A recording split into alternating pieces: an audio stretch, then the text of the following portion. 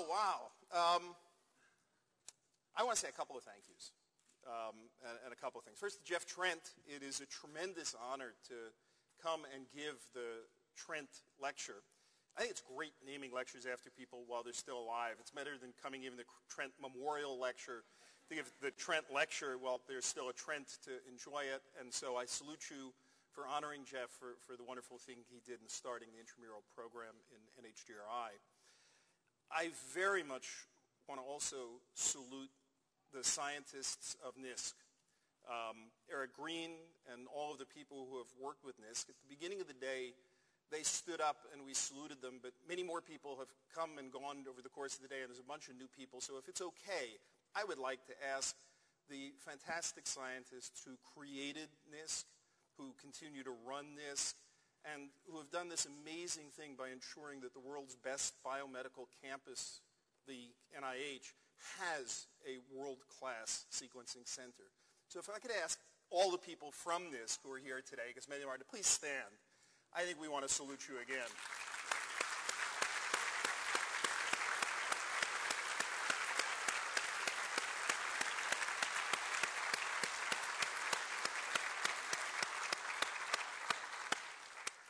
We've had the pleasure of working with NISC on many, many projects, admiring many other projects, uh, their role in the mammalian genome projects, and ENCODE and mouse genome and cancer genome anatomy, and in, and in brainstorming many projects still uh, on the drawing boards and, and, soon to get underway. So well done. Happy 10th birthday, and uh, we look forward to many, many more and watching the impact that you have on the NIH and the impact you have on the world continue to grow. I also want to thank all the preceding speakers who are good and close friends from the, the world of genomes, Claire and Richard and Rick and Wiley and Rick and Andy and Evan and David. And many of the things I'll touch on are things they have already touched on because in fact we're all interested in this broad common world of what you can learn from genomes. So um, since you'll have heard bits and pieces of all of these amazing ideas from people over the course of the day, what I'm going to try to do is, is draw together, run a thread through it, and really address the question of genomic information, what we can learn from it. Because I think the single greatest change over the course of the last 20 years or so in biology is the recognition that biology is, yes, it's the study of organisms, and yes, it's the study of molecules and things, but that at its very core, it is about information, and that there is genomic information. By genomic, I don't necessarily mean the DNA. I mean genome scale, comprehensive, complete information about all the components of the cell, DNA, RNA, proteins, modifications thereof, and that by laying out all of that information, we can transform the sort of questions that we can address. All of the speakers today have shown beautiful examples of that, and I'm particularly delighted to see so many young people, postdocs, graduate students in the audience, because this is the world you guys are inheriting, this world where it is not just about the experiments on your own bench, but the experiments of the entire world laid out before you to pick through and figure out how to extract information from. So that's the theme, and I'm going to touch on many different forms of genomic information if I can. But the granddaddy of all genomic information projects, of course, was this Human Genome Project. Um, it taught us some very important things. It taught us it wasn't a bad idea to lay out some clear goals. Science had a bad name originally, but the idea that if we thought clearly and had some things we had to get and we could define some goals, wouldn't be bad to lay out those goals and try to go for them and hold ourselves toward them.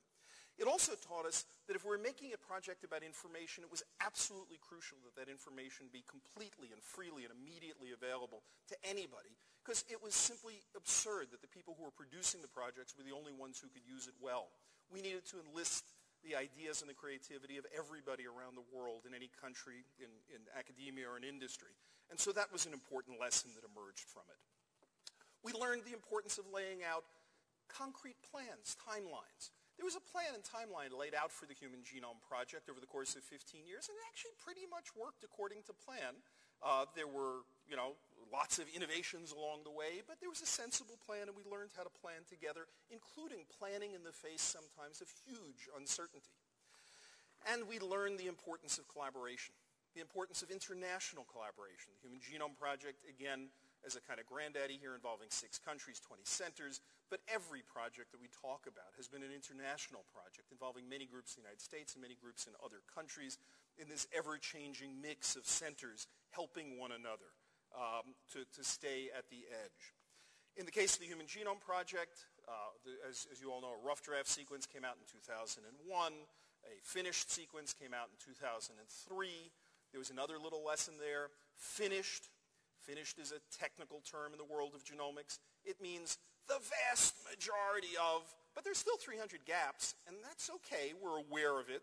Absolute completion shouldn't be the enemy of getting the vast majority of the information out. And there are many things we can state and have stated that we can't quite get the last little bit out, but we can get the first 95, 98% out, and we should get it out in the hands of as many scientists as possible.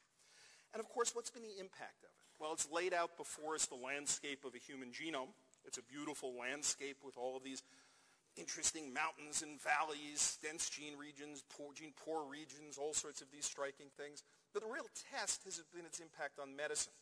When the Human Genome Project started, there had only been about 70 diseases that had been identified molecularly. Single monogenic Mendelian disorders had been identified before the Human Genome Project. With the tools that have emerged during the course of the Human Genome Project, we're now up to some 2,600 Mendelian conditions for which we know the guilty gene, and people can, can study them in great detail. So that was all fun, but that's past history. It was a Human Genome Project. Um, what about beyond the Human Genome Project? What is the agenda today? What are the sorts of things that genome centers, that people around the world are trying to ensure that we have and have freely available on the web for everyone? Well, Human Genome Project had a goal, know all the sequence in the human genome all's in italics because it means, you know, the vast majority of, don't give me a hard time at the last percentage or so. Here's some other things. We need to know all the genetic variation in the human population and its relationship to disease. We need to know all the functional elements in the human genome. We've been hearing about these things already from the speakers today. We need to know all the signatures of cellular responses. Cells only know how to do a limited number of things. I don't know if it's 500 or 5,000, but there's a limited number, and we're going to be able to recognize what those things are by some reduced signatures of, of cellular responses. We need to be able to modulate all the genes in the genome. We need to know all the mechanisms of cancer, and we need to know similar information about the genomes of all the major infectious agents. That's a good to-do list. And that is the to-do list for not the 21st century, for goodness sakes. It's the to-do list for the next 10 years. And indeed, for those of us involved in this, we know that more than half the stuff on this, there's already been great progress. And we can begin to start putting check marks next to things on this list because we're quite far along on them. And there's nothing on this list, I think, that should take us more than the next decade or so with the appropriate interpretation of the word all. There will still be things to discover 30 years from now and all that. But to get the vast majority of out there. It is helped by, as one of the themes in this, in this symposium, the continuing innovation in technologies. The Human Genome Project was helped greatly by the appearance of first fluorescent sequencing, the capillary sequencing, and then we've had the appearance of all sorts of next generation and next generation and next generation sequencers, these 454s and Solexas and solids and helicoses and others, and I won't fuss over what their throughputs and read lengths are because they're changing every day as people are continuing to, to, to improve these machines. But one's getting up to points of gigabases per run or perhaps two gigabases per run. I've heard of four gigabases per run on some of these platforms. And there seems to be no reason why those things can't be achieved. So I want to turn to the topics I was talking about, human genetic variation. Let me take that one first and just describe what has been just a remarkable remarkable period since the Human Genome Project. Now, as various speakers have referred to, there is a fair amount of polymorphism in the human population. It's actually not that large compared to most mammalian species. They're more polymorphic than we are.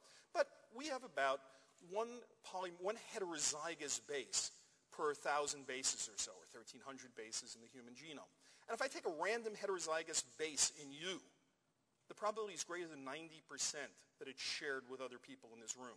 That is, the vast majority of the variation in you is common genetic variation. It's not these rare Mendelian things that are private mutations. The vast majority of what you've got is common genetic variation. And what does it do? Well, we know some examples. It's already been referred to. Apolipoprotein E has a common genetic variant, uh, widely referred to, that confers risk of Alzheimer's disease. We've got some other examples of a common genetic variant in CCR5 that confers protection against HIV. But we really had no systematic way of looking at what might be the medical implications of common genetic variation. So in 1996, several folks, myself included, began to get very interested in the idea, even before we had the sequence of the human genome all tidied up, in fact, before we even had most of it, um, in the idea that we needed more than a sequence. We really needed to understand all the common genetic variation in the human population. Well, simple back-of-the-envelope calculations could tell you that there are about 12 million common genetic variants. And the, the hallucination was this, that one might be able to simply write down all the genetic variants along the top of an Excel spreadsheet, write down all the diseases along the side of the Excel spreadsheet, and human genetics might reduce simply to saying which genetic variants were enriched in which diseases. That would be very nice. It was also a kind of nutty thing 10 years ago to think about that because it implied having 12 million genetic variants. We had nothing close to that. It implied being able to genotype these 12 million genetic variants in thousands and thousands of patients. And mind you, near completeness was necessary. If you only could do 10% of it, well, you'd only catch 10% of the things you were looking for. You really had to get the whole thing. But as these kind of genomic information projects have taught us, put one foot in front of another and consistently you may be able to build to these goals. To indicate just how, um, how poor the information resources were when we started, one could publish, in fact we did publish, a paper in 1998 um, entitled Large-Scale Identification of SNPs that, that could report 4,000 SNPs and call it large scale. That was just an indication of, of where we were at that point. But through efforts like this and, and others, um, the idea came along that we should be able to collect SNPs in a systematic fashion. A public-private consortium was put together, the SNP Consortium 1999, with what sounded like an ambitious goal of 300,000 SNPs across the genome. That proved quickly to be under-ambitious as the SNP consortium within two years reached 1.4 million SNPs. And then as the Human Genome Project came rolling along, it was quickly increased to 2 million SNPs, 3 million SNPs, blah, blah, blah, 8 million SNPs, something like 10 million SNPs now. The vast majority of the common genetic variation in the human population is already in the public databases. If we find a heterozygous site in you, we know empirically that the odds are very good it is already in the databases. Now the problem is still, how are you going to type tens of million, 10 million SNPs across each patient? Could you get away with less somehow without sacrificing the information? Well, here, some of the ideas from Mendelian diseases became very helpful in organizing the thinking. Some of the Mendelian diseases that occurred in isolated populations with single founder chromosomes reminded us that every mutation occurs on a single ancestral chromosome that has a bunch of polymorphisms on it. And as it's passed down through the generations, recombination whittles away the markers at far distances, but nearby, you still have strong correlation amongst the markers that are there. You still have linkage disequilibrium. And you could use it for mapping, for example, in places like Finland, without even families, just looking across a population of Finns with a rare genetic disease. You could map it by linkage disequilibrium, that signature of ancestral chromosomes. Um, a very important paper from Mark Daly showed that even in a general European population in Toronto, you could, if you were up close and personal, detect that linkage disequilibrium. And he found in a population of patients with Crohn's disease that there was a highly stereotyped pattern of blocks of genetic markers that hung together so well that you only needed a couple of those genetic markers to be able to trace to proxy for the entire block. And so that gave rise to this notion if we only knew that correlation structure across the genome, the haplotype structure across the genome, we'd be able to pick out a mere three or 400,000 genetic markers and trace inheritance this way. Well, from a random proposal there of wouldn't it be good to do that, the community swung into action. Within a year, a haplotype map project was launched. Again, the same pattern involving multiple countries, multiple centers, clear goals, free information sharing. And by 2006, it was largely completed. And that nice correlation structure is quite evident in this correlation gram here across a tiny region of the genome, but this slide goes on all the way across the NIH campus. Then uh, you also needed technologies to genotype. Even 300,000 is a big number, but here a variety of different ideas in both the private sector and the public sector came together to allow multiplexing of one marker, 10 markers, 1,000 markers, 50. By last year, half a million genetic markers being simultaneously genotyped on DNA chips. It's up to a million this year. And so suddenly, one had to put up or shut up. One had to actually say you had the genetic variation in the human population, you had the tools for genotyping across people. Why not do it? And many groups around the world have been doing just that for the past year. And it has been an annus mirabilis 2007, a year of miracles. Um, just to give you a graph here of the confirmed common disease vari- common variants involved in common disease. Um, 2000, a single very uh, interesting report of PPAR gamma diabetes, in type 2 diabetes. Crohn's disease, two published in 2001. Um, another diabetes gene in 2003. Age-related macular degeneration in 2005. 2006, several more. 2007 through April, when the tools became available, through August, through September. I don't have October. I'm getting tired continuing to remake this slide here. Uh, and it's, it's going to have a lot of trouble fitting on by the end of, by the end of December. But uh, it's clear that there is an extraordinary explosion right now of disease genes, disease associations of common genetic variants. And why is that? It's because of the continued investment in infrastructure, in building the tools in human genome projects, SNP consortiums, HapMap projects, genotyping arrays. It's the NIH behind many of these things. It's the private sector behind many of these things. It's private-public partnerships behind these things. But it's the willingness to actually roll up sleeves and create that infrastructure and then make it broadly available to a community. What are we learning from these sorts of, of um, findings already in what just has been about a year of this? Well, with regard to the common disease, common genetic variant idea, we've learned it works. You can find lots of them, and the, the significance levels are extraordinary. 10 to the minus 10th is hardly impressing anybody any day. They're 10 to the minus 60th, 10 to the minus 120th. They're significant.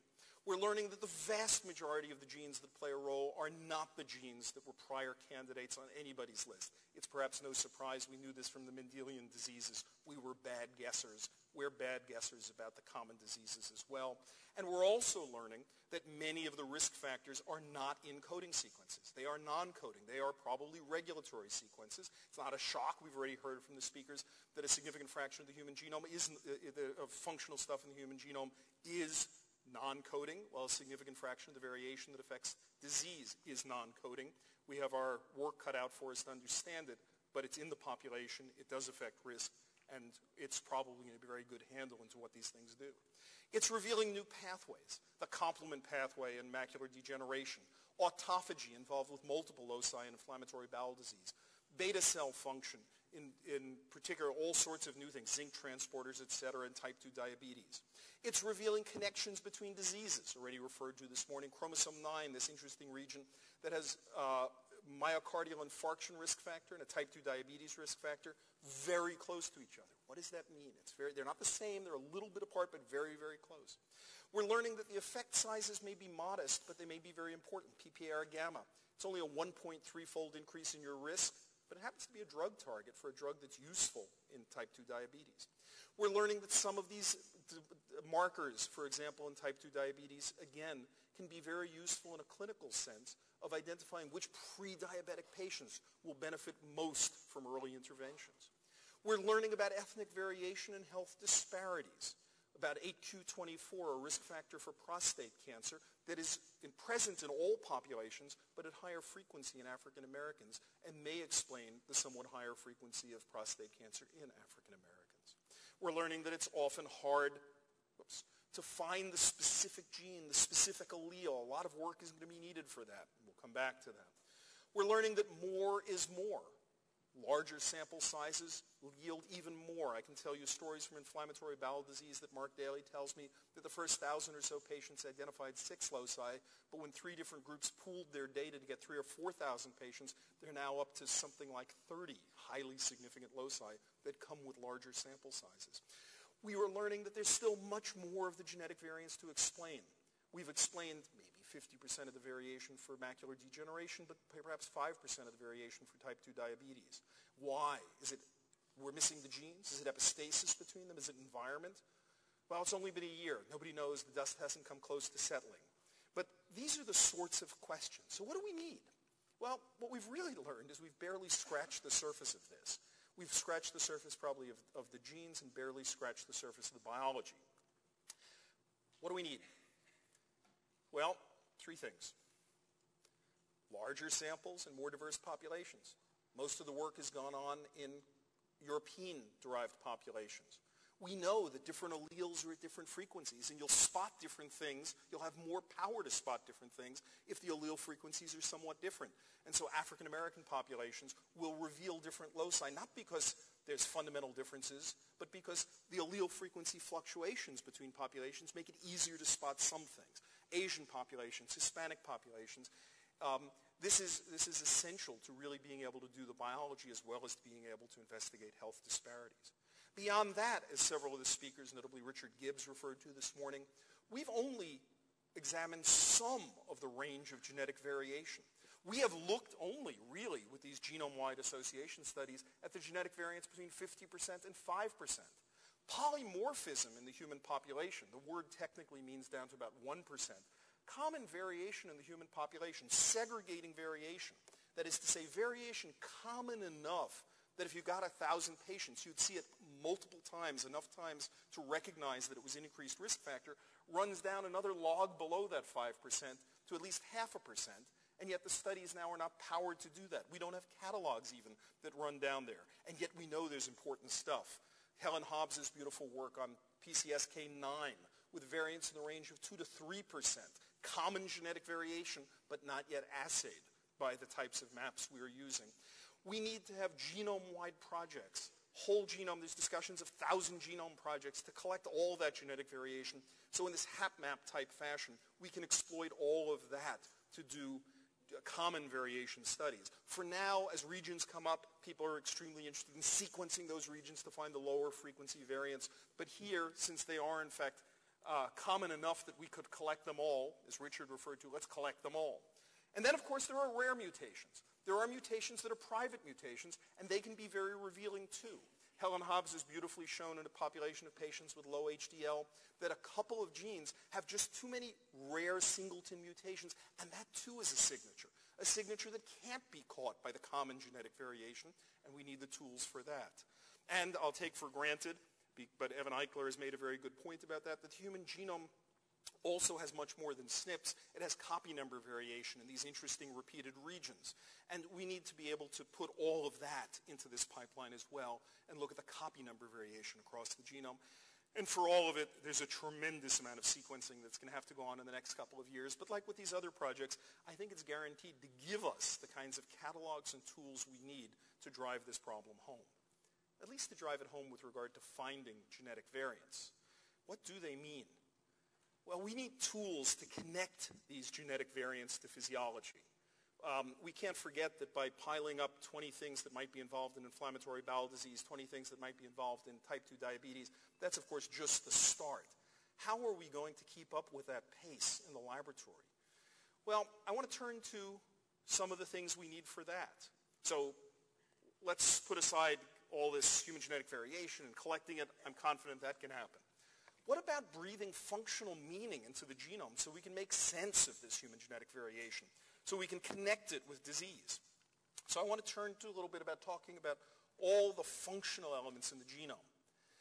Well, there are two different ways that one can approach them that I'll, I'll, at least mention. There are probably some others. Conservation maps, looking at the portions of the human genome that evolution has voted on as really mattering. And David Haussler has referred to this quite beautifully, that looking at the patterns of conservation across the genome, one can learn a lot about what matters in the genome, even if the mouse knockout doesn't show a phenotype.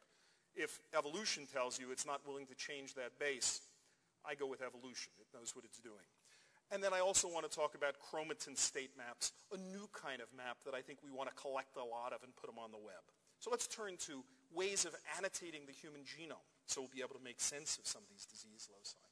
So conservation maps, clearly the first thing after the Human Genome Project was to get the mouse genome done, and many of the people in this room uh, played crucial roles in that, including folks at NISC, of getting the mouse genome done.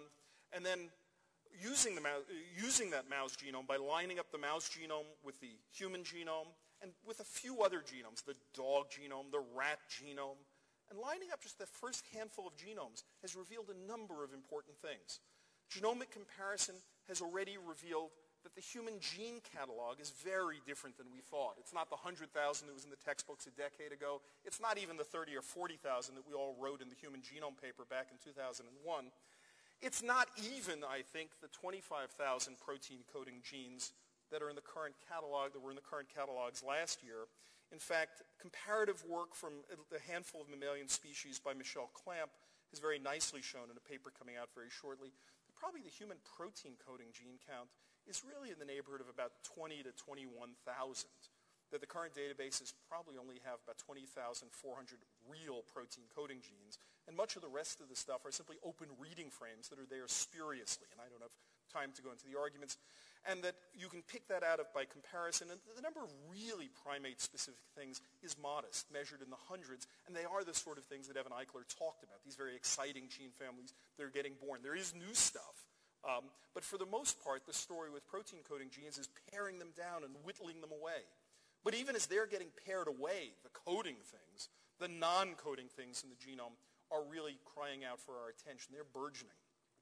As you look across the genome, as various speakers referred to, we find that there are patches of conservation, clear conservation, ranging from these ultra-conserved elements to smaller binding sites that evolution has lovingly preserved and that something like two-thirds of all the stuff evolution has preserved is this non-coding stuff, covering about 5% of the human genome.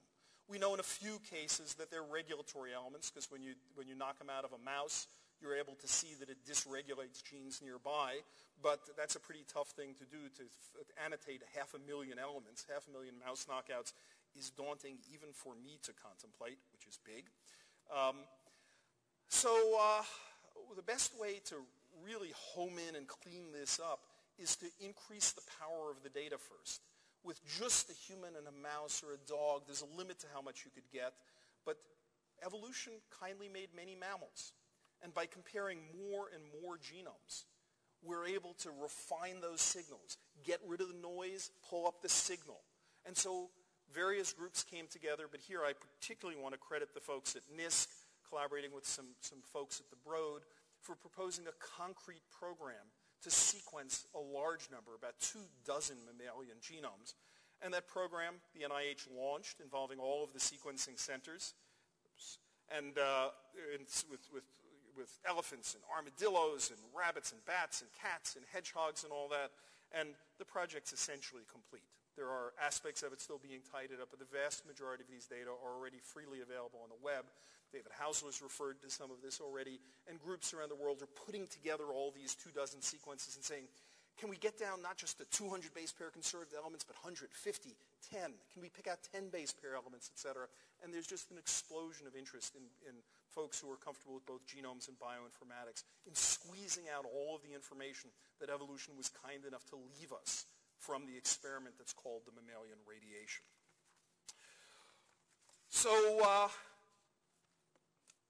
I'll give you some examples of things that come out we're looking at genomes. Here's one. I'm fond of this one. If you line up many genomes and you start looking at what's conserved, you find a funny little site here that's, it's not that little, funny site here that's present about 5,000 times across the human genome. And when it occurs, it's very well conserved. What in the world does it mean? So we use that. We took a biotinylated version of that piece of DNA and pulled down with it protein. We took cellular extract and bound to the biotinylated sequence that contains that motif there, cellular extract, and found that when we pulled it down and flew it on a mass spec, the CTCF insulator protein, an insulator protein that blocks the spreading of gene expression. Only about three insulator sites in the human had ever been characterized. But suddenly, maybe the genome has given us 5,000 candidate insulator sites. How are you going to prove that they're really insulators? You're going to go knock them all out? It's a lot of work. Turns out again, genomic information can give you a very good clue right away. Just take all the genes in the genome that are divergently transcribed. If they're divergently transcribed, and this thing is an insulator sequence, When there's an insulator sequence in the middle, those genes should have uncorrelated gene expression. If there's no insulator sequence, they should have correlated gene expression. Get the public databases, look at their gene expression patterns, it works. The guys who have this tend to be uncorrelated. The guys who don't are, tend to be correlated. So you can pick that out of the information. Obviously, you want to go do biochemistry after that, but it's very nice to be able to do this because you can do this in an afternoon. Other things that you can come out. You can take the things that David refers to, these ultra, ultra conserved sequences way out at the end, or a little less ultra conserved, maybe super conserved or very conserved or something sequence. The most 5% most conserved sequences across the genome and see where they are across the genome. And when you do that, you find the following curious fact that the most conserved non-coding sequences across the genome are not near genes. They're in gene deserts, gene poor regions. But not no genes, just gene poor. What genes are in those gene poor regions? Developmentally important transcription factors. Almost every one of those 200 regions that have peaks of highly conserved non-coding elements are enriched for developmentally important transcription factors or axon guidance receptors. Half of that very conserved stuff is focused around these regions. They must be very interesting. What do they do? So we were curious about understanding what, what was going on special at these regions, and that led us into the second part of the work, chromatin state maps. Because we took a guess that maybe chromatin would be one way in which those loci were special.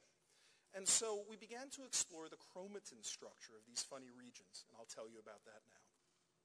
Chromatin structure is enormously complex. Histones have these tails that are decorated with all sorts of modifications, but for the moment I'll keep it simple and refer to only two histone modifications.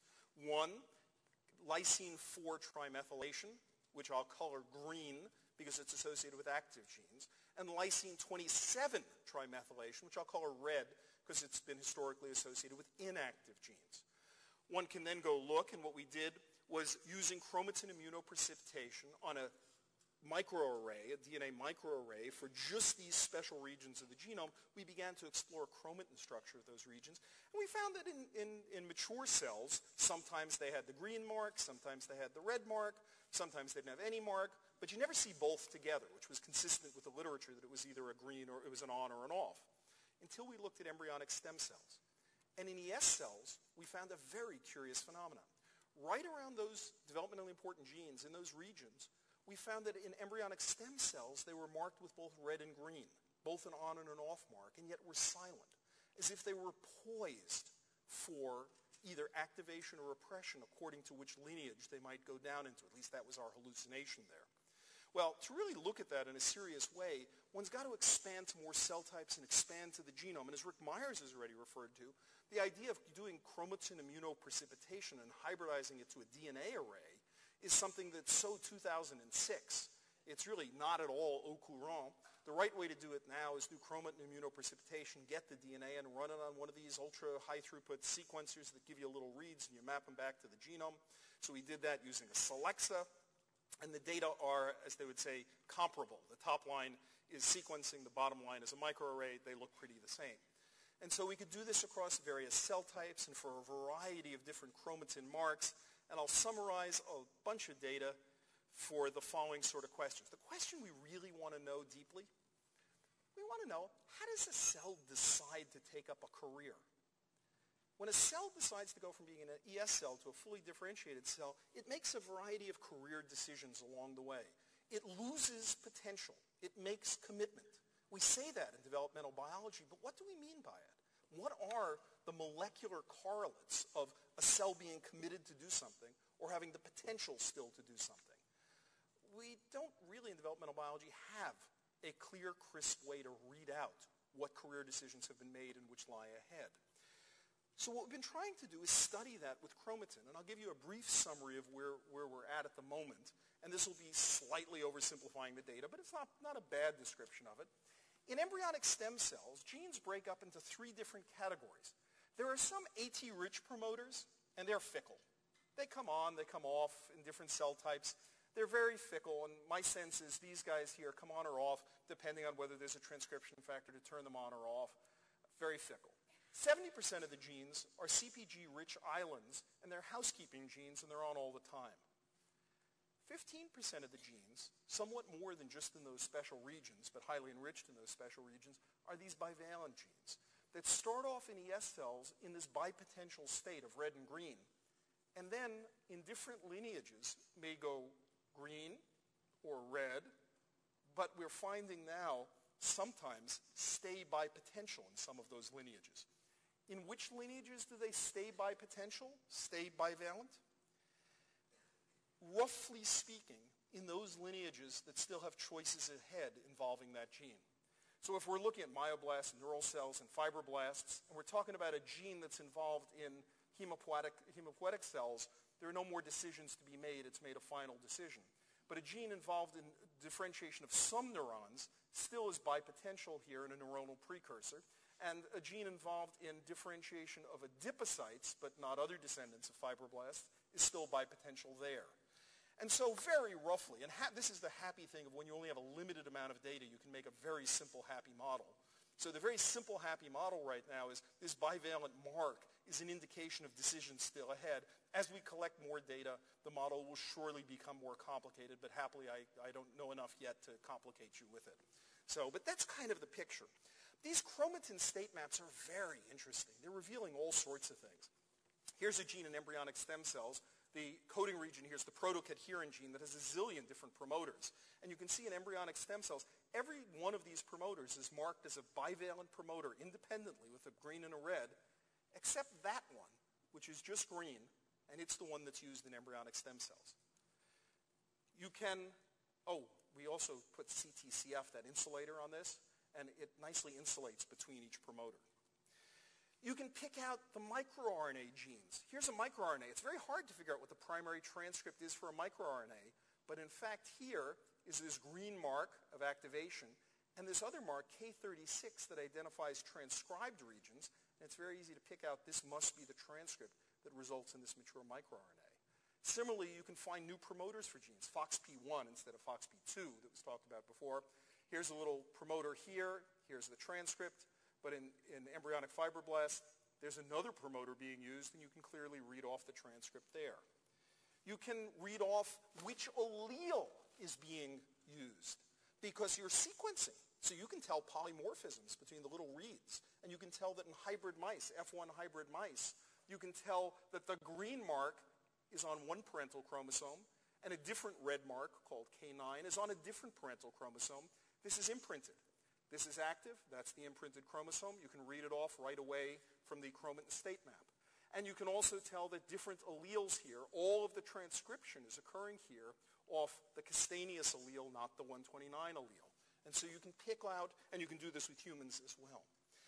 And finally, going back to this, uh, uh, the human genetic variation, um, we've begun to look at marks, the K4 mark, not trimethylation, but dimethylation and monomethylation. These marks, I don't want to confuse you with too many marks, but these marks are marks that seem to indicate open chromatin and enhancers in particular. Um, they're associated with hypersensitive sites in DNA, and you can kind of read these off as at least proto-enhancer marks. And I put this region up for one reason, which is, remember I said chromosome 9 had this funny bit that was non-coding that was associated with both myocardial infarction and type 2 diabetes? It's there. And it's got all sorts of interesting enhancer things over it. Now, I note these enhancers are in a totally irrelevant cell type. They're an HL60 cancer cell, and they're in, in human umbilical vein uh, cells here. But um, nonetheless, one can get cell types now and mark up those enhancer structures in more relevant cell types. And my guess is there's a lot of interesting action going on over here in terms of enhancers. And maybe that'll help guide us in. Anyway, um, I'm going to quickly, I'll just say and won't really talk about, um, we've been doing the same thing now with methylation. We've been taking the DNA and studying its chromatin structure, it, its epigenomic structure with regard to methylation. And you can do this by, you know, some genes have CPG islands, which sometimes could become methylated and turn the genes off. And you can study this by treating the DNA with bisulfite, and you can then shotgun sequence problem is it's a lot of DNA. And so we've come up with, and I'll just mention, some, some interesting tricks where you can slice out 1% of the genome on a gel, that contains just the MSP1 fragments of a certain size and says MSP1 cuts at CPGs, these things are highly enriched for CPG islands. And you can assay about 90% of the CPG islands in the genome by sequencing about 1% of the genome. And you can pick out those regions that have, for example, become highly methylated in developed cells. I'll mention the following fact, which is when you begin to measure methylation changes as cells develop, you take embryonic stem cells and you develop them into SOX1 positive cells and then to neural precursor cells and astrocytes. There's a huge change of methylation that occurs here. Very unmethylated, huge change to guys becoming methylated in this change, and then they stay the same past there. This got Alex Meissner, who did this work, beautiful work, very excited. I mention it because Alex Meissner is also very careful. We now think this is a very interesting artifact. We think that we, now we look at actual cells from um, tissue, in vivo tissue, as opposed to cells being differentiated in cell culture. We don't see this methylation. In fact, it looks like there are some very important changes in methylation that occur in cell culture in the same cell types but are not occurring in vivo. And this is of interest because the one place where you do see this methylation is in cancer. There's something very funny going on with regard to methylation. I mention this because there's been some talk about using bisulfite sequencing, and we were very excited about to go describe all this, and now it's very clear there are some very interesting artifacts that I think in the end will tell us more about cancer than development with regard to, to methylation. But I mention it. Anyway, all right, so those are those things. But those are annotating the genome. What about functional tools? What about the kind of genomic information that's going to shed light on cellular circuitry? I want to take a little bit of time and talk about tools for doing that. Not for marking up the genome anymore with variation or marking up with conservation or marking up with chromatin state maps, although I think all those things are very important and we've got to keep generating them and getting them out on the web. But the tools for somewhat more high throughput biology to explore pathways. And so here, I want to describe work of a student, Piyush Gupta, to indicate that even the very sensitive cell biological experiments of a thought of a, of a, type that you might not think would yield to genomic approaches can be made to yield to genomic approaches. So I'll describe briefly Piyush Gupta, who came to our lab from Bob Weinberg's lab. He's a cancer person, uh, Piyush is, and was extremely interested in deploying the tools of RNAi screening so RNAi is, of course, a fabulous technology for knocking out the gene of your choice. And with a couple of groups, including our own, who have built genome-wide RNAi libraries, you can at least imagine the idea of doing genome-wide screens with RNAis to find all the genes that might matter in a process. Well, the process Piyush cared about was to understand the signaling of the ERBB2 receptor. He cared a lot about this problem because he was very interested in breast cancer. And breast cancer comes in five basic groups as defined by gene expression patterns. Two of them, these first two, have very poor prognoses, and we need much better therapies for them. And this first class here is has uh, prominent signaling through the ERBB2 receptor, and we need much better therapies for this class. So Piyush said, could I use high-throughput RNAi screening as a genomic information tool to tease apart the pathway.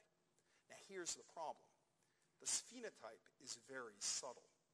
When you add heregulin to cells, breast cancer cells, they start off clustered next to each other.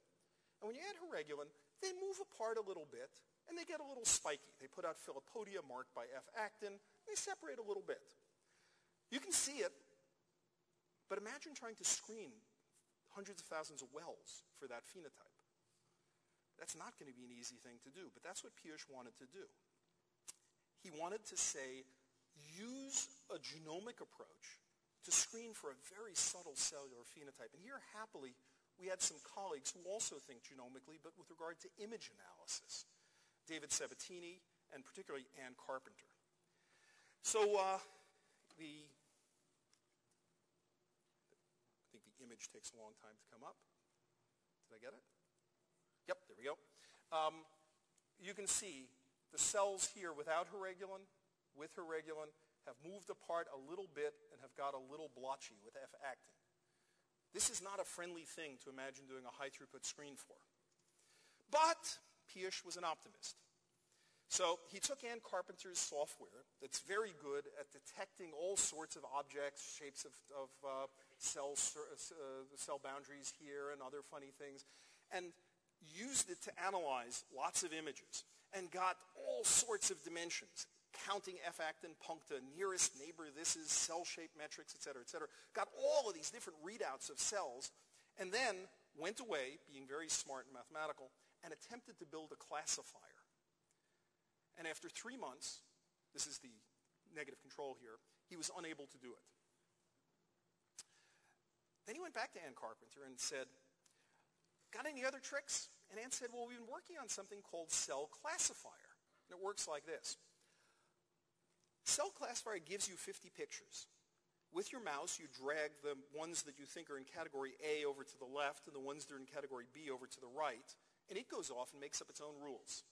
Based on its rules, it gives you 50 more pictures. But this time it's divided them and said, I think these are A's and these are B's. Is that what you mean? And you move around the ones it got wrong. It goes away, gives you back. After a couple hours with Cell Profiler, it's doing a mighty fine job. And in fact, it was able to accomplish in one such sitting a pretty good classification of cells as either treated as looking like they had been activated by heregulin or not. Anyway, to make long story short, with this he undertook a high throughput screen involving about 1,000 genes in this case with multiple rep, five replicates, many hairpins per whatever, and found a number of established genes, lots of new genes, but most interestingly, they fall into very sensible pathways. Three pathways that had been known to be involved in ERB2 signaling come out right away, the PI3 kinase, NF-kappa B, JAK-STAT, and one entirely new pathway, JNK3, not previously known to be involved, and it's an interesting pathway because there are inhibitors involved, there are inhibitors that have been developed against JNK3, but for neurodegeneration, maybe they'll have a use here. In addition, recurrent functions come up in neurite extension, cell migration, ligand-induced receptor endocytosis. The vast majority of those genes sort out nicely into different pathways and provide great sense for it. So I bring this up to say that even when you're talking about subtle cellular phenotypes, the genomic approaches can be quite handy and are quite tractable. And these are the sort of things I at least am on record as having advised Piyush would be a terrible screen, but in fact turned out to be quite a reasonable screen, and you can get a lot of really good pathways emerging out of that. I'll talk about another kind of way to recognize cellular signatures, and I'll just yeah, refer to that, which is um, ways of recognizing cellular signatures based on gene expression. And I just want to describe what's a beautiful project that's been continuing to grow of Todd Golub and Justin Lamb at the Broad, whose idea is we basically want to take any subtle process we're studying, whether it's a disease, the action of a drug, the action of a gene, and put them all in one common language, one lingua franca, that whatever we're working on, the way to talk about it is what is its effect on perturbing RNA expression. And if we were to make a big database of that, we would pick up all sorts of connections by putting it in this common language that we would never otherwise have seen. And they've demonstrated very beautifully that one can do this. They've put together now a database of response signatures to number of human drugs, a couple hundred human drugs now, against uh, uh, uh, numbers of human cell lines. And their idea is this. For any biological signature you want, take your biological signature, run it against the database, kind of Googling it, and out will pop the things that are similar to it. Any disease state, any other state, any gene inhibition, see if there are any drugs or, or other perturbations that are similar. I'll just show you examples of this. Treat rats with estrogen.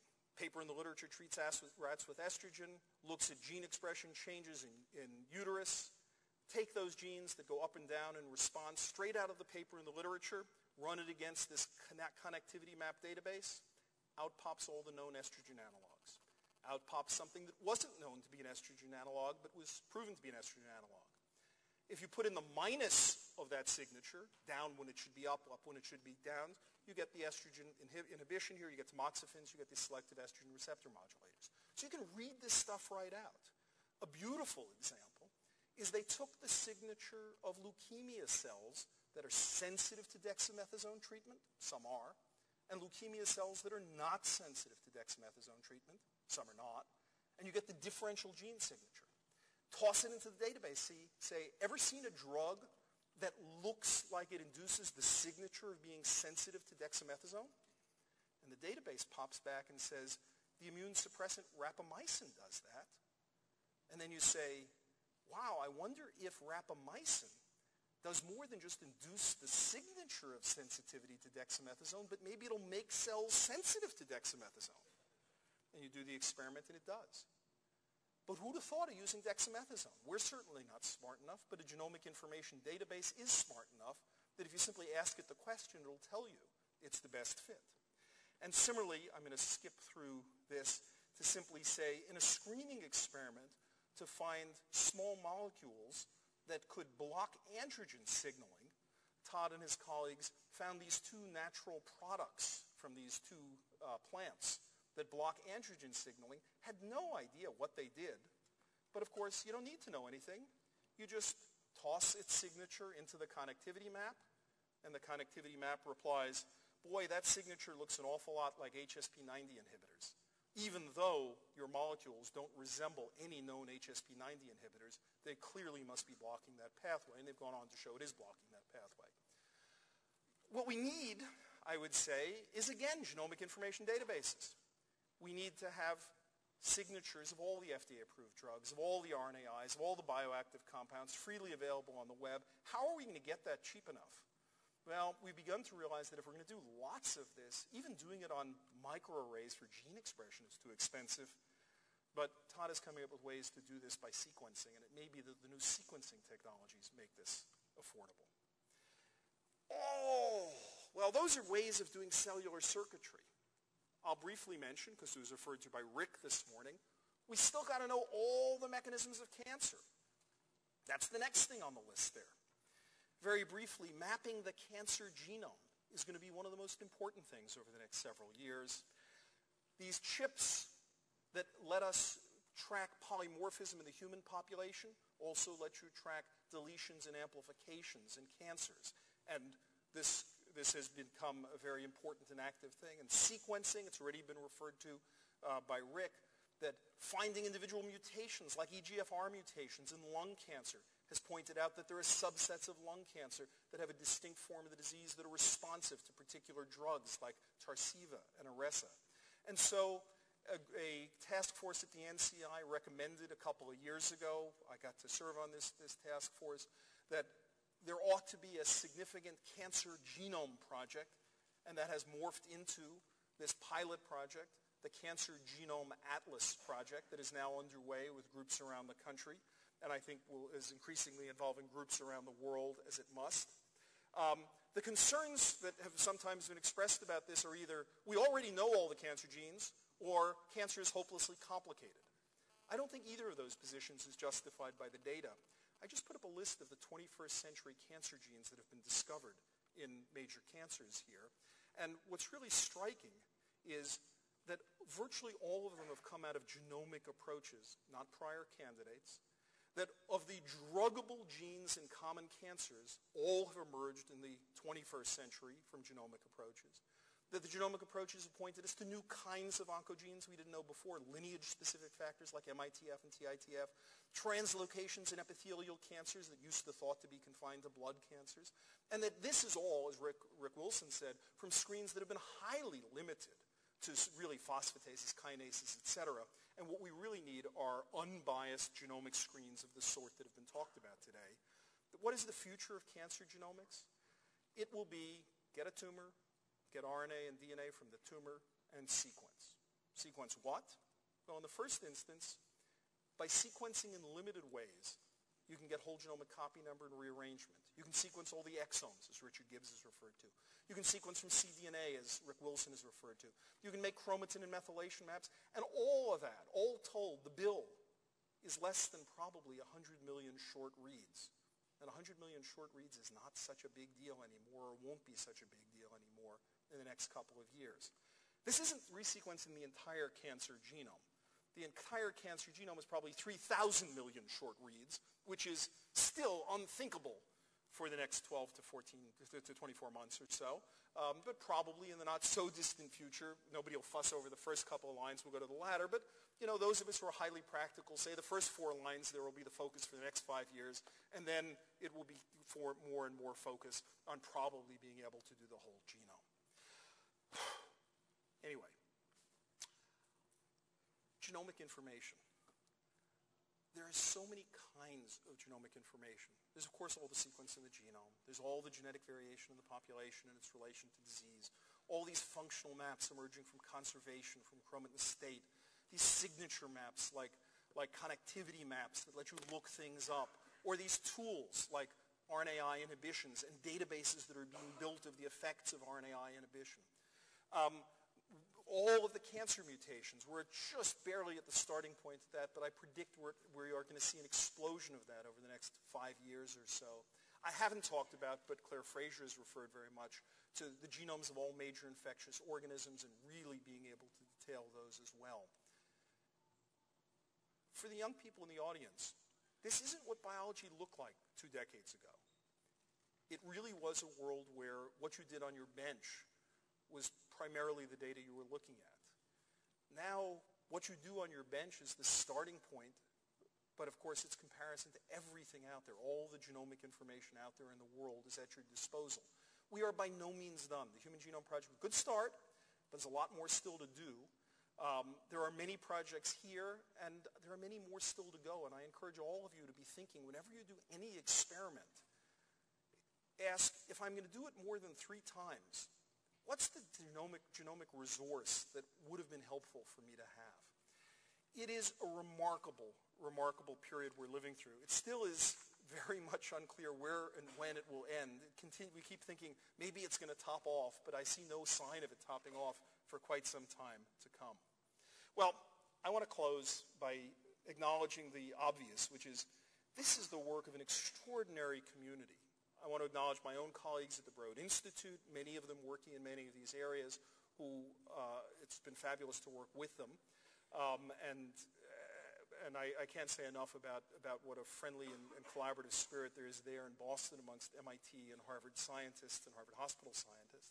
But I also want to acknowledge something you often don't acknowledge, which is the extraordinary role of consortia.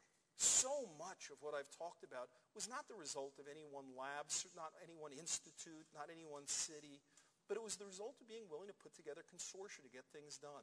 And there has been this floating group of consortia. I just put down some of the ones whose data I've, I've referred to here. Um, Human Genome Project, SNP consortia, RNAi consortia, all sorts of consortia um, that, that have emerged over the years. And this has become such a powerful way to do science in the age of genomic information. And then lastly, I want to make a special acknowledgement to the sequencing centers. Over the course of now almost 18 years, um, these sequencing centers have worked together in all sorts of combinations to help try to bring about this revolution and get data out rapidly. And I think we all feel an enormous bond to each other. I want to acknowledge WashU and Baylor and TIGR and Sanger and the Joint Genome Institute, the Stanford Genome Center, and others. And I particularly want to acknowledge, because it's a birthday party, NISC for the extraordinary role it has played in making sure that this genomic revolution and genomic information that is happening all over the world is happening in spades here on the campus of the NIH. Anyway, this has been a great day, a great birthday party. The great thing about celebrating a first decade in this case is that one can be sure that the next decade is going to be vastly more exciting. So thanks for the opportunity to kind of tie it all up today. Uh, and hats off to everybody here for what they're doing. Happy birthday.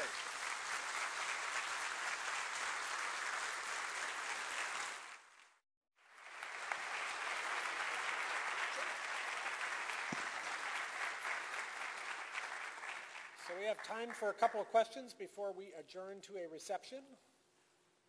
While people are finding their way, uh, Eric, clearly the uh, ability to generate vast amounts of data uh, is uh, outstripping, I think, most people's expectations, although I suppose it shouldn't be said that we weren't sort of warned about this.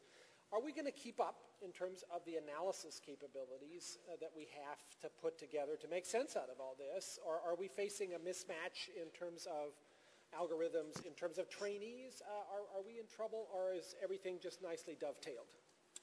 Oh, golly. Um, well, I have enormous faith over the long term in young people.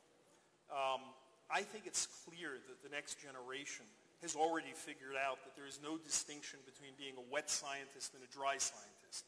They're all recognizing they're damp, that, that they, are, they are both. Um, and we're seeing many more people going into biology now who consider it de rigueur to have done bioinformatics training and such. So if you say, over the course of the next 15 years, will the young people lead us into this promised land by virtue of their understanding this new world? You know, they, this, this, old generation may not fully enter that promised land, but the new generation will, and, and they understand it. Now, will they all fully show up in full force within the next 24 months to deal with the data, or will there be this deluge of data beyond what the existing training base is?